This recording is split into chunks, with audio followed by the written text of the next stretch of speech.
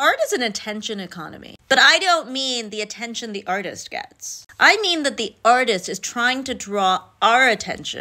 In art speak, it's called emphasis or composition or balance. Basically, the artist is composing a scene that makes you look. That said, artists like Van Gogh didn't have all that many people looking. But that's more about the art market, not about his ability to compose a scene. And there are other artists like Joseph Cornell who worked in Chicago and didn't gain that much attention until after his life. Here, he does a really good job of putting a lot of chaotic things together in a way that feels visually appealing. Henri Rousseau has definitely gained in fame since his lifetime.